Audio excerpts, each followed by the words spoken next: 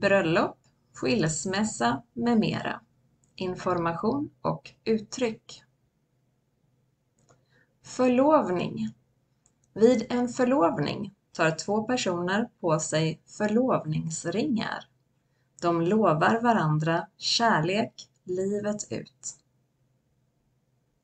Förr ledde en förlovning alltid till giftermål, men numera kan två personer vara förlovade hela livet och inte gifta sig alls.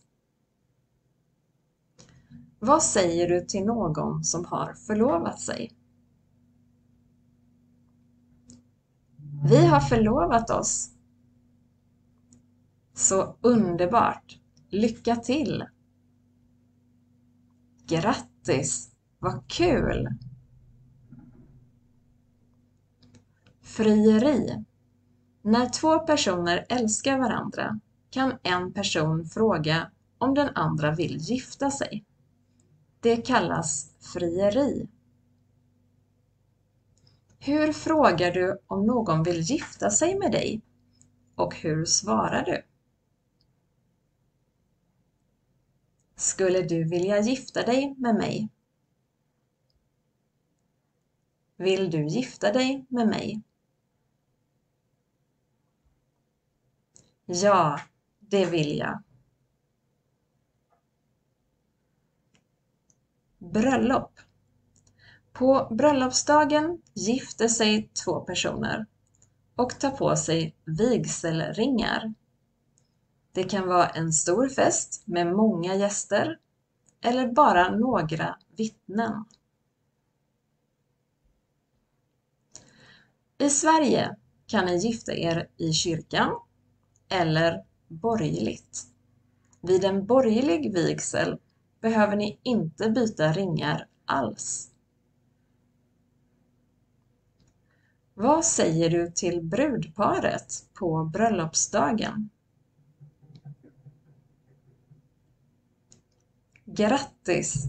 Lycka till! Ta hand om varandra.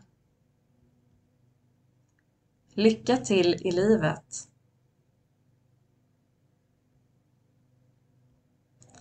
Skilsmässa När två personer inte vill vara gifta längre skiljer de sig. De ansöker om skilsmässa hos tingsrätten.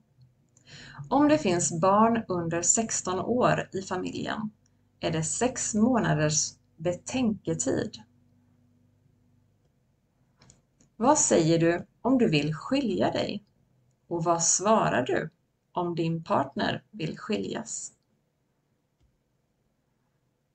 Vid skilsmässa. Jag vill skiljas.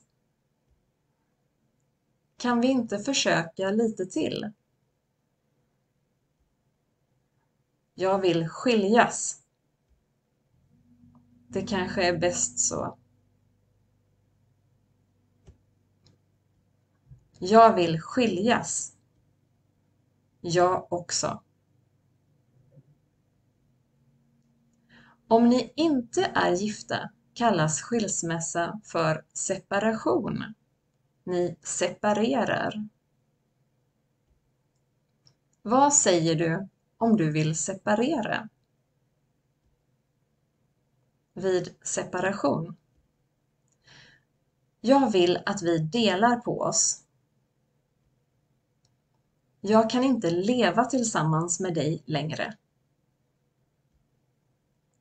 Jag gör slut. Det här går inte längre.